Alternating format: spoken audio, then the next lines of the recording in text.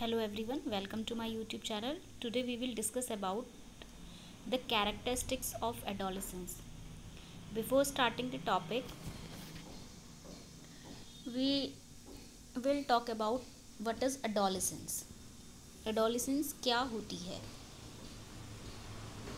As we all know that adolescence is a word derived from adolescere which is a Latin word adolescence शब्द की उत्पत्ति Latin भाषा के adolescere से हुई है which means to grow to maturity जिसका अर्थ होता है परिपक्वता की ओर बढ़ना, यानी कि मिच्योरिटी की तरफ़ जाना। ये एक ऐसी स्टेज है जिसमें जो चाइल्ड होता है, जो बालक है, जो बालिका है, वो मिच्योरिटी की तरफ़ जाती है। In other words we can say that adolescence is the period through which a growing person makes transition from childhood to maturity यानी कि किशोरावस्था एक ऐसी अवस्था है जिसमें व्यक्ति बाल्यावस्था से प्रौढ़ावस्था की ओर जाता है। यानी कि उसका ट्रांजिशन होता है फ्रॉम चाइल्डहुड टू मिच्योरिटी तो now let's talk about characteristics of adolescence किशोरावस्था की विशेषताएँ कौन कौन सी होती हैं? There are some characteristics of adolescence a stormy phase socio emotional development of adolescent language development feeling of social service hero worship problem of adjustment idealistic cognitive development जैसा कि आप इस स्लाइड में देख पा रहे हैं कुछ कैरेक्टरिस्टिक्स एडोलिसेंस के किशोरावस्था की कुछ विशेषताएँ दी गई हैं। इन सब विशेषताओं की बात हम आगे की स्लाइड्स में करेंगे। Moving on the next slide there are some more characteristics of adolescence इसमें कुछ और कैरेक्टरिस्टिक्स हैं किशोरावस्था के। Like development of good and bad habits and tendencies future in anxiety emotional instability importance of group moral immoral development stable friendship etcetera अब हम इन सभी characteristics विशेषताओं की बात आगे एक एक करके करते हैं।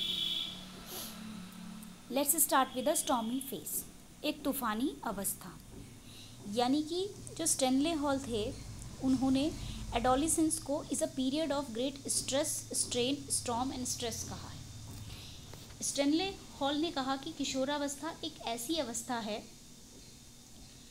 जो कि बड़े बल, तनाव, तूफ़ान और विरोध की अवस्था है। यानी कि यहाँ पे जो हमारी एनर्जी है, वो एक हाई लेवल पर होती है। चाहे हम फोर्स के लेवल पे कहें, चाहे हम अपने तनाव को लेकर के कहें, या किसी चीज़ के विरोध करने को लेकर, यानी कि हमारी जो एनर्जी होती है, वो एक बहुत हाई पीक पे होती है। तो इसीलिए हमने इसको एक तूफ़ानी अवस्था कहा है, एक स्टॉमी फेस कहा है। इसमें कुछ सब पॉइंट्स हैं। कैसे होती है तूफ़ानी फेस किससे हमें स्ट्रेस होता है? किसके साथ हम अपनी एनर्जी कहाँ पे लगाते हैं? तो इसमें फ़र्स्ट पॉइंट है कॉन्फ्लिक्ट विद पेरेंट्स इस अवस्था में, यानी कि किशोरावस्था की अवस्था में एडोलिसेंस अवस्था में माता पिता के साथ अक्सर बच्चों का संघर्ष हो जाता है। क्योंकि वो अप, अपनी लाइफ में इंटरफेरेंस पसंद नहीं करते हैं। वो जो काम चाहते हैं अपनी मर्ज़ी से करना चाहते हैं। वो नहीं चाहते कि उनके जो पेरेंट्स हैं वो उनको इंटरफेयर करें उनको रोके टोके। क्योंकि ये जो अवस्था है इसमें वो दोस्तों के साथ रहना ज़्यादा पसंद करते हैं। बाहर घर के बाहर रहना ज़्यादा पसंद करते हैं। और अगर उनके माता पिता उनको रोकते हैं तो क्या होता है? आर्ग्यूमेंट्स होते हैं। तो यहाँ पे इस अवस्था में सबसे ज़्यादा संघर्ष जो है वो पेरेंट्स के साथ होता है बच्चों का। They feel the parents and adult do not understand them वो हमेशा ये समझते हैं कि माता पिता हमें समझना नहीं चाहते। वो हमारी क्योंकि वो चाहते हैं कि माता पिता उनके साथ अग्री करें। और जब माता पिता उनके साथ अग्री नहीं करते हैं तो वो विरोध की अवस्था में आ जाते हैं। यानी कि उनका माता पिता के साथ आर्ग्यूमेंट हो जाता है। तो ये इस अवस्था की कमी है। एक कैरेक्टरिस्टिक्स है। नेक्स्ट इज़ मूड डिस्ट्रप्शन यानी कि मूड व्यवधान। एडोलिसेंस की अवस्था में, किशोरावस्था की अवस्था में अधिकतर बालकों का या बालिकाओं का मूड स्विंग होते रहते हैं। अभी उन्हें कुछ पसंद है, थोड़ी दिनों बाद उनकी चॉइस क्या है? चेंज हो जाती है। क्यों? क्योंकि वो इन्फ्लुएंस्ड होते हैं by the society and by the friends अपने फ्रेंड्स को जैसा देखते हैं, अपनी सोसाइटी में जैसा देखते हैं अब सोशल मीडिया पर जैसा देखते हैं तो उन चीज़ों से क्या होते हैं? वो इन्फ्लुएंस हो जाते हैं बहुत ज़्यादा। तो इसीलिए उनके मूड्स जो है वो स्विंग होते रहते हैं, क्योंकि उनको पता नहीं होता कि हमें एक्चुअली करना क्या है, हमारे लिए क्या सही है और क्या गलत है। नेक्स्ट इज़ जोखिम भरा व्यवहार रिस्की बिहेवियर ये एक ऐसी अवस्था है जहाँ पे जो बालक है या बालिका है, वो एक रिस्की बिहेवियर शो करती है। जैसे रिज़ल्ट खराब आ गया तो सुसाइड का स्टेप उठा लिया। समझ रहे हैं? अपनी वीकनेसेस को वो एक्सेप्ट नहीं करते हैं, जिसकी वजह से उनका जो बिहेवियर है कई बारी रिस्की हो जाता है। तो इसीलिए इस अवस्था को हम एक तूफ़ानी अवस्था कहते हैं। Next point is cognitive development formal operational thinking यानी कि संज्ञानात्मक विकास किस तरीके से होता है। आप देख रहे हैं कॉगिनेटिव डेवलपमेंट में जो फॉर्मल ऑपरेशनल है, हम सेंस कॉगिनेटिव डेवलपमेंट जैसा आपको पता है जीन प्याजी ने भी दी थी थ्योरी तो उसी के हिसाब से हम यहाँ पर ले रहे हैं इसको। Are four stages first is sensory motor stage pre operational stage third is concrete operational and fourth is formal operational जब हम सेंसरी मोटर स्टेज की बात करते हैं तो ये जो स्टेज होती है, ये ज़ीरो से दो साल तक की होती है। इसमें जो इन्फेंट है, वो एक्सप्लोर करते हैं the world through direct sensory and motor contact object permanence and separation and anxiety developing during this stage sensory motor stage में अधिकतर वो चीज़ों को, वस्तुओं को पकड़ना शुरू करते हैं। जैसे अपना अंगूठा चूसना, इस तरीके की एक्टिविटी वो करने लगते हैं। अगर हम प्री ऑपरेशनल की बात करें तो यहाँ पे जो बच्चा है वो चित्रों को पहचानना, शब्दों को समझना यूज़ कर देता है। अगर हम फॉर्मल ऑपरेशनल की बात करें, जो कि हम कॉग्निटिव डेवलपमेंट में एडोलिसेंस की बात कर रहे हैं तो कॉग्निटिव डेवलपमेंट एडोलिसेंस में हम केवल फॉर्मल ऑपरेशनल की बात करेंगे। फॉर्मल ऑपरेशनल में adolescent can reason abstractly and think in hypothetically term वो हर चीज़ को हाइपोथेटिकली सोचते हैं। है ना? कि ऐसा क्यों हो रहा है? या मैं ऐसा करूँगा तो ऐसा हो जाएगा। तो हाइपोटिकली हर चीज़ को सोचना प्रारंभ कर देते हैं। इस तरीके से उनका नॉलेज जो है वो यूज़ होता है, संज्ञानात्मक विकास होता है। तो एडोलिसेंस में जब हम कॉग्निटिव डेवलपमेंट की बात करेंगे तो इन स्टेजेस में हम केवल फॉर्मल ऑपरेशनल की बात करेंगे। Third point is socio emotional development of adolescent सामाजिक भावनात्मक विकास कैसे होता है? किशोरावस्था में। ये भी एक कैरेक्टरिस्टिक्स है इसका कैरेक्टरिस्टिक है इसका। सामाजिक भावनात्मक विकास क्या है क्योंकि हमने कहा मूड स्विंग होते रहते हैं, है ना? यानी कि उनका जो मूड है, वो हमेशा एडोलिसेंस में बदलने लगता है। कभी वो रोने लगते हैं। और इसीलिए क्या होता है कि वो जो भावन, भावनात्मक रूप से बैलेंस्ड नहीं होते। उनका जो इमोशनल एबिलिटी है, वो उनके अंदर नहीं होती है। यानी कि वो बैलेंस नहीं कर पाते हैं अपनी भावनाओं को। तुरंत रोने लग जाते हैं, तुरंत हंसने लग जाते हैं।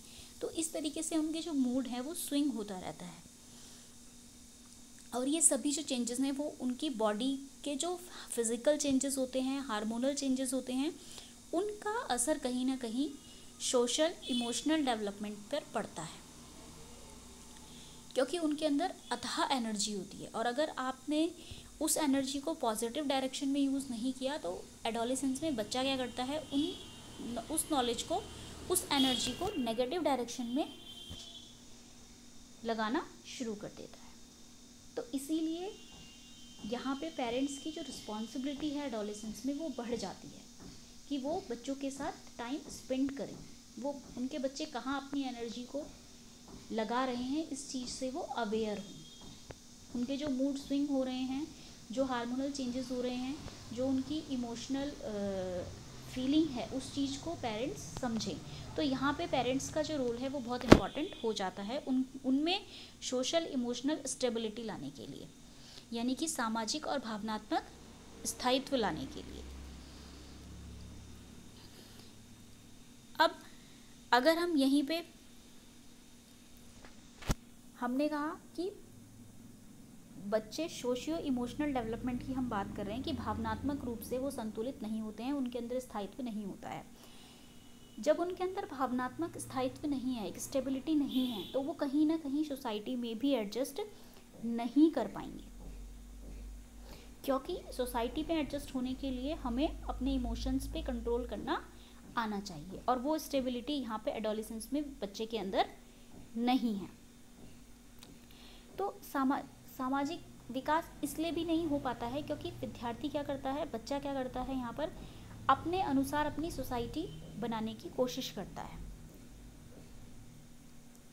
तो क्या होता क्या है, वो ज़्यादा से ज़्यादा टाइम अपना दोस्तों के साथ स्पेंड करता है, अपनी फैमिली के साथ टाइम स्पेंड नहीं करता है। और कभी कभी क्या होता है, वो किसी के साथ अपना टाइम स्पेंड नहीं करता, अकेले अपना टाइम स्पेंड करता है, जिससे वो डिप्रेशन में चला जाता है। तो इस तरीके की जो सिचुएशंस है, वो एडोलिसेंस अवस्था में आ जाता है। इसीलिए हम कह रहे हैं कि पेरेंट्स को यहाँ पे स्टूडेंट अपने बच्चे का बिहेवियर ऑब्ज़र्व करने की बहुत ज़्यादा आवश्यकता है। ताकि वो अपने घर में टाइम स्पेंड करे पेरेंट्स के साथ, अपनी वैल्यूज़ सीखे ड्रेसिंग स्टाइल सीखे। वो बाहर के प्रभाव में आने से अच्छा है कि वो अपनी फैमिली के प्रभाव में आए। तो यहाँ पे ये एक विशेषता है कि सोशो और इमोशनल उनका डेवलपमेंट किस तरीके से होता है। Fourth point is language development भाषाई विकास। ये देखिए, ये किशोरावस्था की अवस्था है, यानी कि एडोलिसेंट की अवस्था है तो इसमें क्या है, उसका लैंग्वेज जो डेवलपमेंट है, वो बहुत अच्छा हो चुका होता है। उसकी जो कमांड होती है ओवर लैंग्वेज वो बहुत अच्छी हो चुकी होती है। उसका जो वकैब है, वो बहुत अच्छा हो चुका होता है, क्योंकि उसका शब्दकोश बढ़ गया होता है। और वो अब क्या करता है? कॉम्प्लेक्स से कॉम्प्लेक्स वर्ड कॉम्प्लेक्स से कॉम्प्लेक्स सेंटेंसेस को पढ़ लेता है और उनके मीनिंग को समझ जाता है। तो यहाँ पे जो लैंग्वेज डेवलपमेंट है, वो पूर्ण तरह हो जाता है। यानी कि उसके जो डिक्शनरी है, जो वो कैब है, वो बहुत ही अच्छा हो जाता है इस इस एडोलिसेंट स्टेज का एक पॉजिटिव पॉइंट है कि it is a idealistic phase ये एक आदर्शवादी अवस्था भी है। क्योंकि यहाँ पे क्या होता है, बच्चा अच्छा बनने की कोशिश करता है सोसाइटी में कभी कभी जब आप कहीं फैमिली फ़ंक्शन में जाएँगे तो वहाँ पे बच्चा क्या करेगा, अपने आप को सोशली प्रेजेंट करेगा। वहाँ पे वो आदर्शवादी जो उसकी आइडियोलॉजी है, उस पर बिलीव करेगा। तो इसीलिए ये जो अवस्था है वो आइडियलिस्टिक भी है। क्योंकि थोड़ा बहुत सेंस उसके अंदर आ चुका होता है कि हमने किसके सामने क्या बिहेव करना है तो वो थोड़ा अपने आप को सोसाइटी में सोशली प्रेजेंट करता है। Six is development of intelligence and mental ability बौद्धिक तथा मानसिक विकास। देखिए एडोलिसेंस की अवस्था है तो हमने कहा लैंग्वेज डेवलपमेंट कंप्लीटली हो जाता है। तो ऑन दैट नोट इंटेलिजेंट जो डेवलपमेंट है, वो भी उसका पूर्णतः हो जाता है। उसका मेंटल डेवलपमेंट हो जाता है। इसका मतलब वो, उसकी जो मेमोरी पावर है, वो स्ट्रांग हो जाती है। उसकी इमेजिनेशन पावर स्ट्रांग हो जाती है। वो चीज़ों को एनालिसिस कर सकता है सिंथेसिस कर सकता है। Analysis means break down the content वो कोई अगर बड़ी सिचुएशन है तो उसको छोटे छोटे पार्ट्स में करके उसको समझ सकता है, या सिंथेसिस यानी कि समराइज़ कर सकता है किसी भी कॉन्सेप्ट को। इस तरीके का जो उसका मेंटल डेवलपमेंट है, वो कम्प्लीटली हो जाता है। यानी कि मेंटल और इंटेलिजेंट लेवल पे वो निपुण हो जाता है, ये कहा जा सकता है। और यहाँ कहीं ना कहीं उसकी जो प्रॉब्लम सॉल्विंग एबिलिटी है समस्या को समाधान करने की जो योग्यता है, उसका भी विकास हो जाता है। तो जो उसकी मेंटल डेवलप एबिलिटीज़ हैं, वो कम्प्लीटली डेवलप हो जाती हैं। Seven point is moral immoral development नैतिक अनैतिक विकास। वो सही और गलत में आइडेंटिफाई कर पाता है कि क्या उसके लिए सही है और क्या उसके लिए गलत है। है ना? क्या चीज़ सही है, क्या चीज़ गलत है? नैतिक और अनैतिक विकास उसका हो जाता है। है ना? तभी तो वो अपनी, अपने एबिलिटी के हिसाब से, अपनी रीजनिंग के हिसाब से, अपनी लॉजिकल पावर के हिसाब से अपने लिए सही और गलत का चुनाव करता है और इसीलिए वो आर्ग्यूमेंट्स भी करता है पेरेंट्स के साथ। तो यहाँ पर उसको अपने लेवल से उसका नैतिक और अनैतिक विकास हो जाता है। नेक्स्ट इज़ हीरो वर्शिप इस अवस्था में सबसे ज़्यादा क्या होता है कि वो फॉलो करते हैं फ़िल्म स्टार को क्रिकेटर्स को। अपना एक आई इमेज एक रोल मॉडल बना लेते हैं और उसको फॉलो करना स्टार्ट कर देते हैं। वो इमिटेट करते हैं उनके बिहेवियर को, उनके हेयर स्टाइल को, उनकी क्लोथिंग को, उनके ड्रेसिंग सेंस को। तो इस तरीके से वो एक अपना आइडल बनाने के बाद उसको फॉलो करना शुरू कर देते तो हीरो वर्शिप की प्रॉब्लम भी इस समय बहुत ज़्यादा आती है।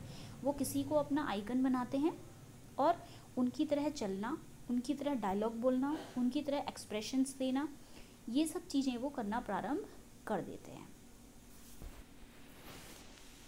Next is feeling of social service कुछ बालकों में समाज सेवा की भावना भी आ जाती है। वो चाहते हैं कि हम दूसरे की मदद करें फ्रेंड्स की हम मदद करें तो ये समाज सेवा की भावना भी किशोरावस्था में डेवलप होती है। प्रॉब्लम ऑफ़ एडजस्टमेंट समायोजन की समस्या यहाँ सबसे ज़्यादा आती है क्योंकि हमने अभी लास्ट स्लाइड में बात करी कि इमोशनल स्टेबिलिटी नहीं है।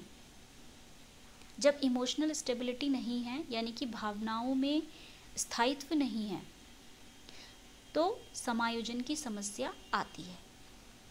वो एडजस्ट नहीं कर पाते हैं। अपनी सोसाइटी में। नेक्स्ट इज़ स्टेबल फ्रेंडशिप यानी स्थायी मित्रता। एडोलिसेंस की स्टेज में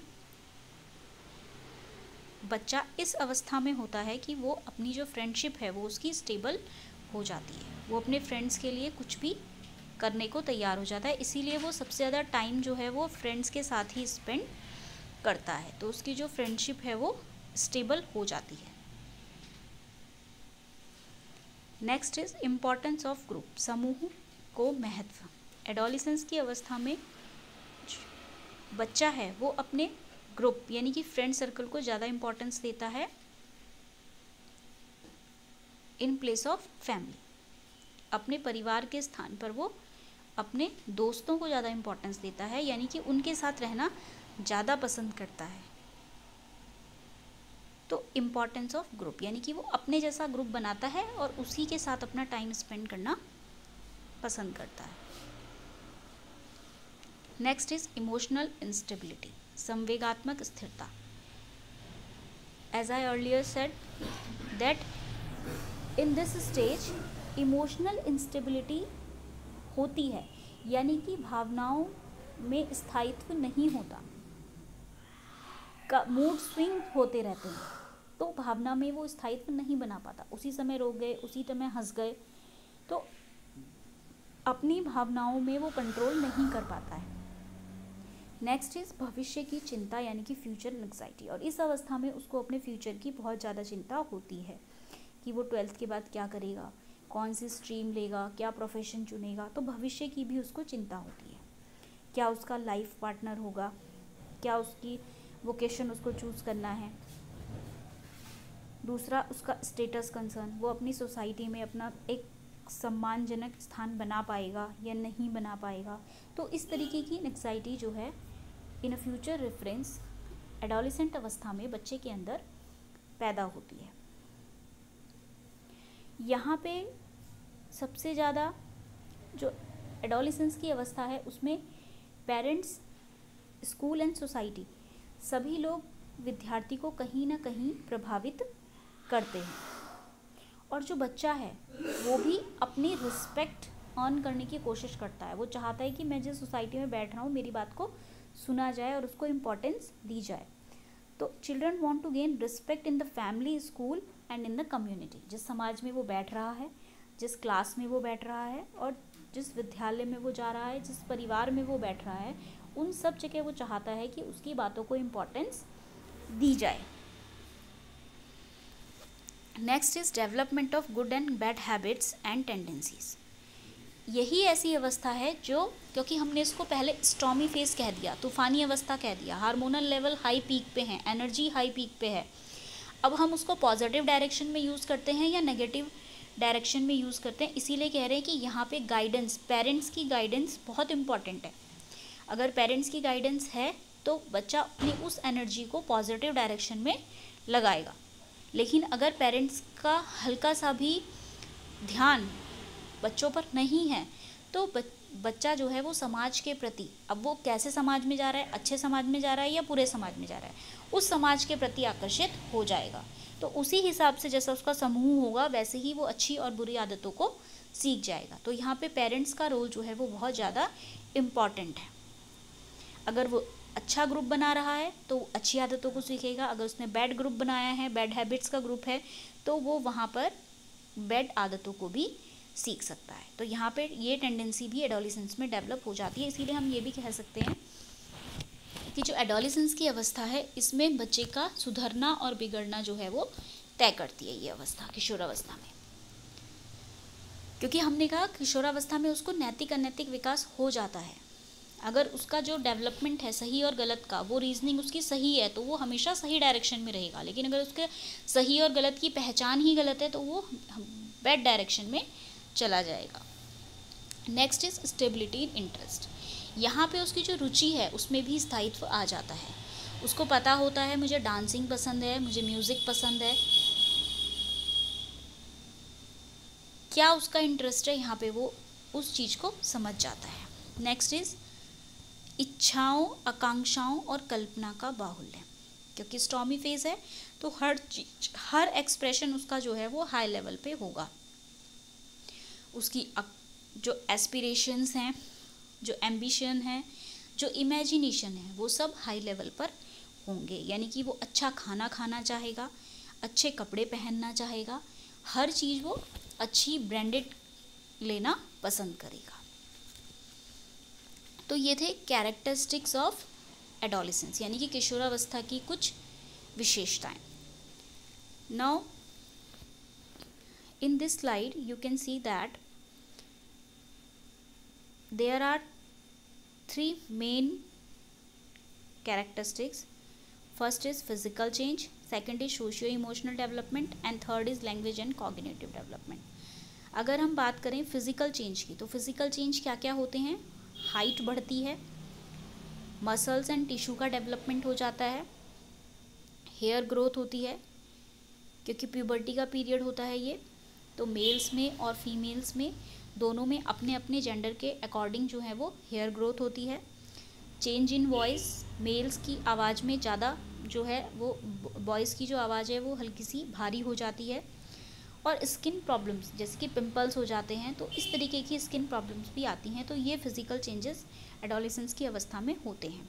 Next is social and emotional development यहाँ पे जब सोशल और इमोशनल डेवलपमेंट होता है तो पेरेंट्स का जो रोल है, वो बहुत इंपॉर्टेंट होता है। फ्रेंड्स का, जिस ग्रुप में वो बैठ रहा है, उसका रोल बहुत इंपॉर्टेंट होता है, और स्कूल और टीचर का। तो एडोलिसेंस की अवस्था में इन सब के रोल बहुत इंपॉर्टेंट होते हैं।